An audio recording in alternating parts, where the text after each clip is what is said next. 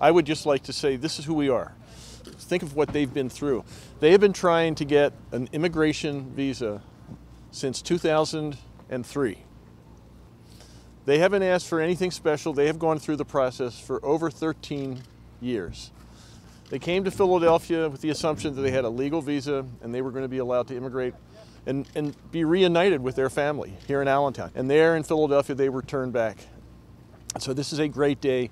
It not only brings families, this family together, which is a really happy event, but it brings really good people into our Commonwealth. Last week, I was angry and I was depressed, and it took a lot of hard work. Today, we woke up to a new dream. I was thinking I was going back to Syria.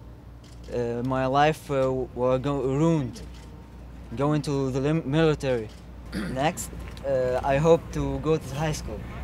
To finish high school. Finish He's high a school. 12th grader, so. Wow. My ancestors, imagine all of your ancestors came to, to, to this country, to Pennsylvania, from somewhere else. That's who we are.